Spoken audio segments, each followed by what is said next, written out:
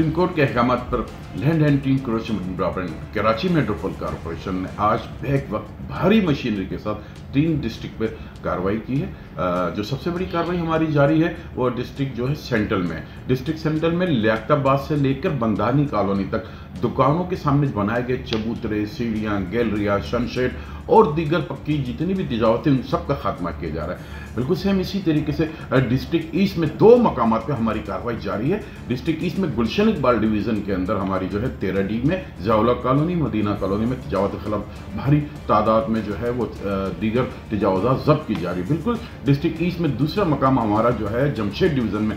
तीन हट्टी ब्रिज के नीचे जो है वो हमारी कार्रवाई जारी जिसमें मुख्तलिफ़ किस्म की तजावजात और कच्ची पक्की जितनी भी दुकानों के सामने बनाई गई चबूतरे पत्थर उनको भी मसमार किया जा रहा है। तीसरी हमारी कार्रवाई जो है वो डिस्ट्रिक्ट साउथ के अंदर हो रही है। डिस्ट्रिक्ट साउथ में जो है गार्डन में बादशाही रोड के ऊपर फारा चौक पे भी दुकानों के सामने बने हुए चबूतरे पत्थरे वगैरह सब मसमार किए जा रहे हैं और तमाम तजावजात को जब्त किया जा रहा है। इन तमाम कार्रवाई में हमारे साथ इलाके के असिस्टेंट कमिश्नर, इलाका police anti encroachment police ranger city warden officer व स्टाफ एंटी इंक्रोचमेंट मौके पर मौजूद हैं।